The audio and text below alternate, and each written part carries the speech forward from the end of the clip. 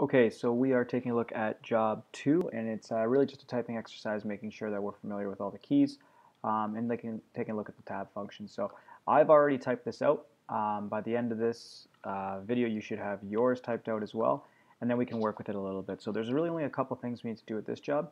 We just want to move fact 1, fact 2, and fact 3 uh, just over a little bit. So you know that we can hit the spacebar to move things over. We never want to do that. So you need to make sure that whenever you want to indent something, you hit the tab button. It's going to put everything in a perfect line. So every time I want to move something, I just hit our tab button and I hit our tab button again.